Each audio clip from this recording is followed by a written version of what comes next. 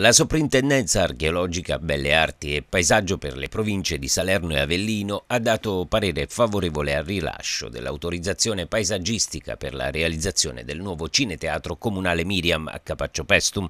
L'organo ministeriale ha valutato positivamente dal punto di vista paesaggistico il progetto approvato dall'amministrazione comunale retta dal sindaco Franco Alfieri, recependo i chiarimenti forniti dagli uffici comunali in merito alla variante urbanistica, nonché manifestando apprezzamento apprezzamento per la proposta progettuale.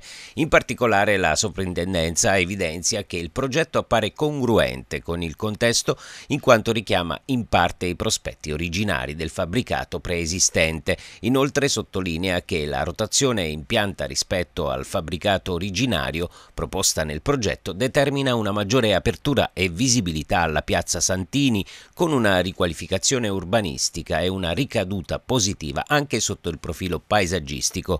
Ne eravamo certi e la soprintendenza lo ha confermato. Il nostro progetto per il Cineteatro Miriam non solo è valido, ma migliorerà il contesto urbano di Piazza Santini anche sotto il profilo paesaggistico. Avanti il teatro, dichiara il sindaco Alfieri, e finisce il teatrino.